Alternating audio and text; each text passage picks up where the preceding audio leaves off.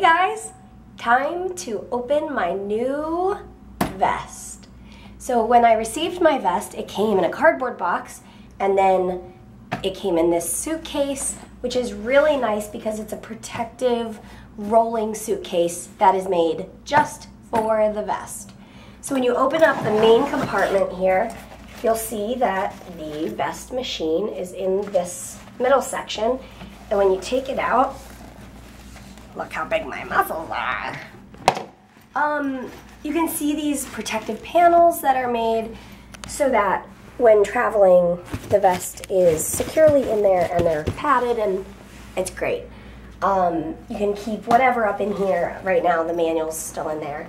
But if you're traveling and you want to keep like some of your nebulizer pieces or whatever, you can keep it up in there. Um, and then in the sides, um, in this side, it was the electrical cord, which I already have plugged in. And it just looks like this. And then it plugs into the back. Um, I thought this was interesting. The old, and when I say old, I mean the 104 model of the Hillrom vest. This is the 105. Um, the 104 had an electrical cord that plugged in the back just like that, but it was a three prong that went into the wall, and this one's just a two prong. So, interesting. Okay, so in this, in the other side of the vest bag are the tubes. And there we go. Oh, one more thing. It comes with another little contraption cord thing. I've never even taken it out of the bag. So this thing I don't actually really understand, except that I know what it does. You plug it into the front. I believe you plug it in right here. And then you can turn on and turn off the vest by using this? I don't really know actually. I don't know. So You should that. try it. Yeah, I could try it. That would be an adventure. So the new vest tubes have a special mechanism. Hard plastic, spinny thing on the end. And instead of the old way of doing things where you take the rubber ended thing and jam it in the hole, not anymore. You take the locking mechanism, you line up, you line up the mark and then twist and it's in place.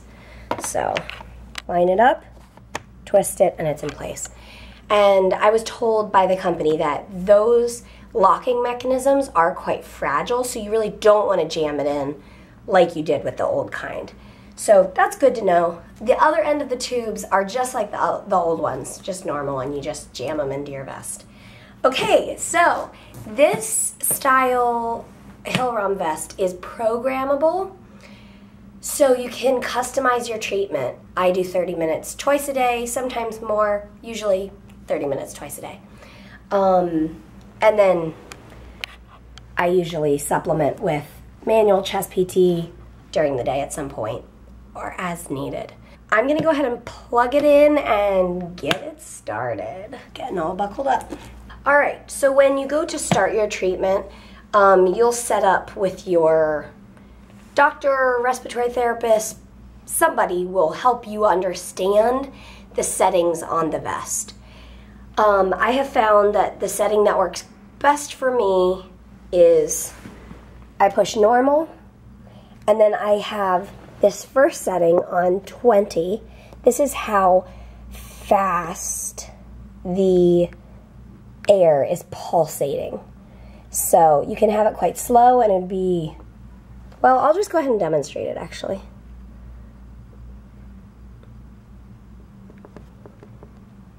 Oh. I don't remember it going that low. This should be interesting. Um, and then this, the middle one is the pressure, how tightly the vest is squeezing you basically. Um, I keep it on five. It's harder to tolerate at higher levels for me. Um, it just makes me feel more like can't get a deep breath. So five has been a good level for me right now. And I'm just gonna go ahead and press on and that starts the treatment. You'll feel it inflate first. And I usually pull it down as it's inflating so it doesn't ride up. So as it's inflating, I just hold the bottom edge of the vest. And then to start, this is, it's fully inflated, and then to start the oscillation, you just push on again. Here it goes. Uh, so it starts off slowly and it works its way up to whatever speed you've had, you have it set out.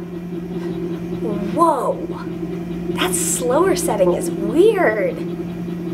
Okay, I'm gonna go back, I'm gonna go up.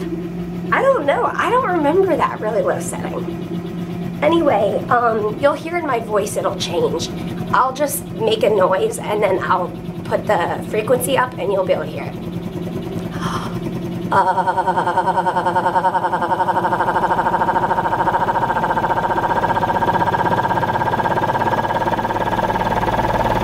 you can hear that my voice is going quicker and quicker and quicker with the faster that I turn up the frequency on the best setting. Okay, so that's, I'm now at 20. So lastly, let's just figure out what this thing does. Maybe I should read the directions, or maybe we should just figure it out. So it's like this blood pressure cup thingy, which is really fun to squish actually. So even if you don't use it, it's like a free stress ball add on. add on. Okay, so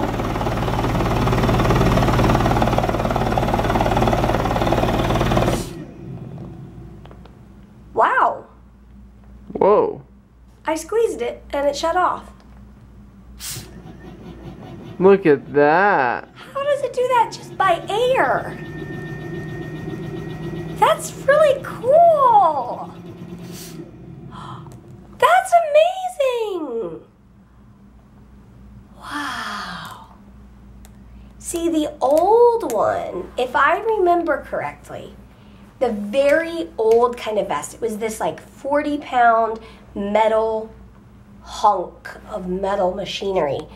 The, the thingy that was with it was a little circular kind of pad thing.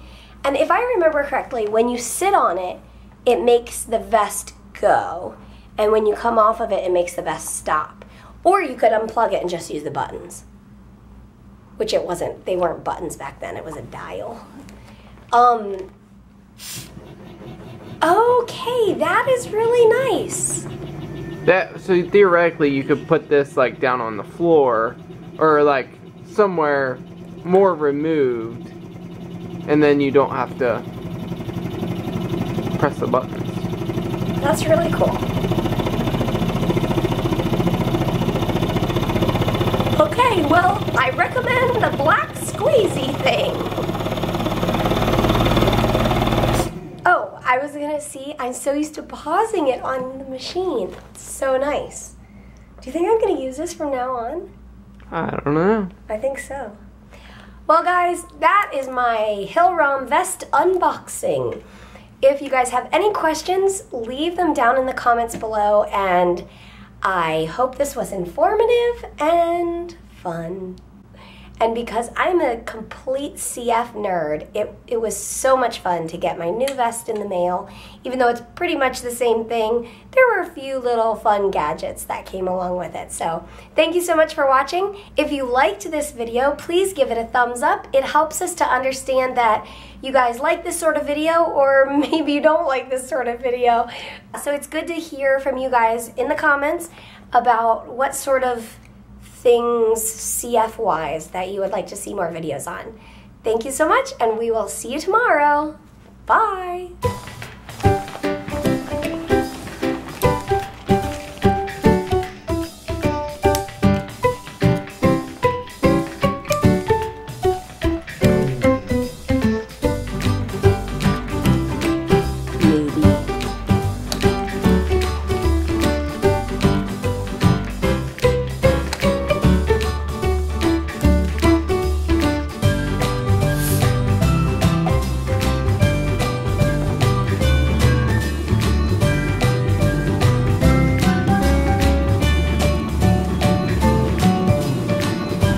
ハハハハ!